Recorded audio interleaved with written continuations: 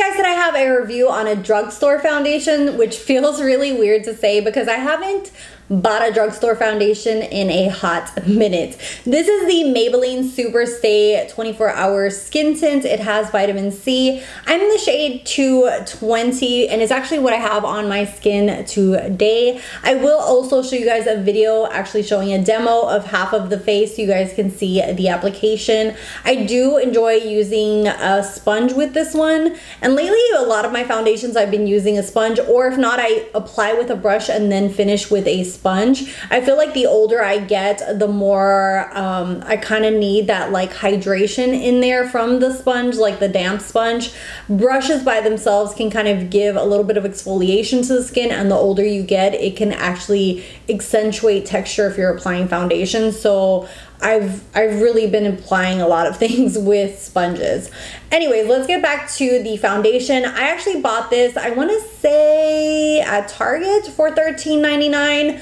Uh, and I would highly recommend going into a drugstore or Target or Walmart and buying it. If you go to Ulta, it's $17.99 unless you you got a good coupon. So highly recommend maybe going to Target that being said, as soon as you look at the bottle, it kind of reminds me of the, I don't know if it's going to pick it up, but it reminds me a lot of the Charlotte Tilbury Glow because it has that luminosity to it. Hopefully the camera's picking it up.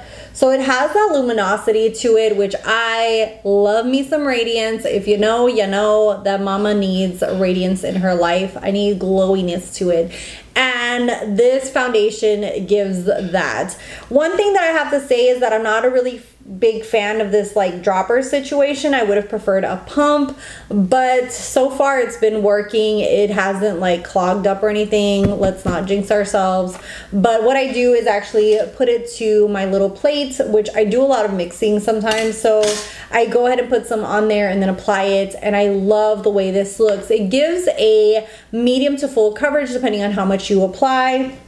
What it says on Ulta's website is that it's a long wear skin tint that has skin light coverage, natural radiant finish, and is resistant to sweat, humidity, and fading.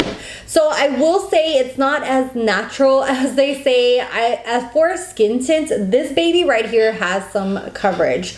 So it's not like a lot of skin tints are very, very sheer. So let me go ahead, let me stop saying so, so much. But as you can see there, it's quite uh, thicker than a lot of skin tints. I feel like it gives more coverage and it's more of a medium coverage. It still looks very beautiful on. If you wanted to, you could sheer this out a little bit, but it's not as sheer as, for example, my Rare Beauty one. This one's way more liquidy and more sheer compared to the Maybelline one. I feel like you get more coverage from the Maybelline one. That being said, I still feel like it gives a natural finish, but you do see that someone has makeup so it doesn't it looks beautiful on the skin, but it still looks like you have makeup on. You know what I mean? So people are gonna notice that you do have makeup, but it gives like a beautiful luminosity to the skin. Hopefully you guys will see that on my skin itself.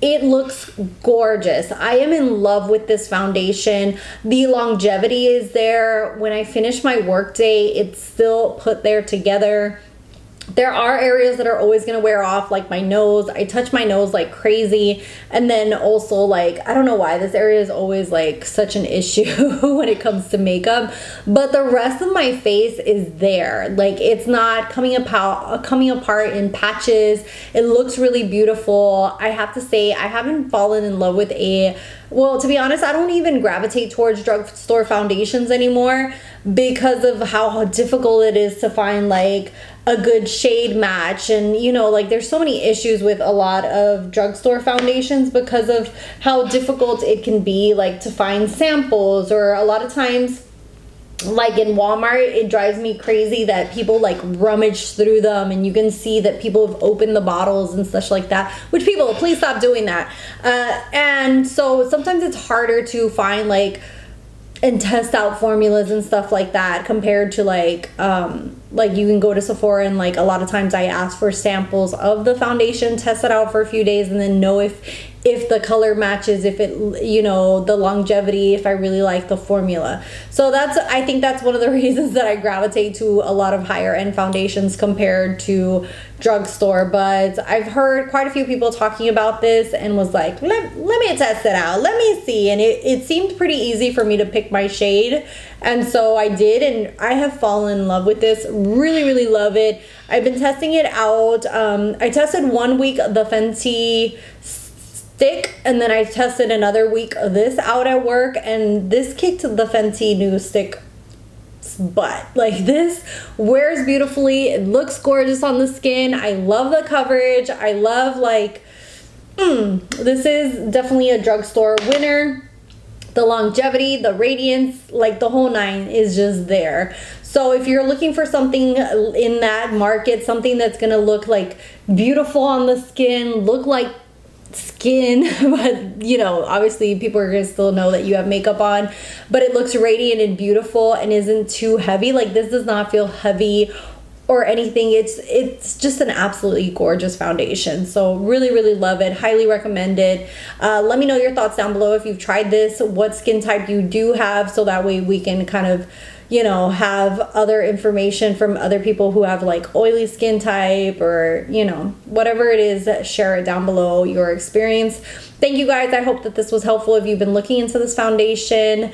And I do have my socials down below, and I'll see you guys in the next one. Bye, guys.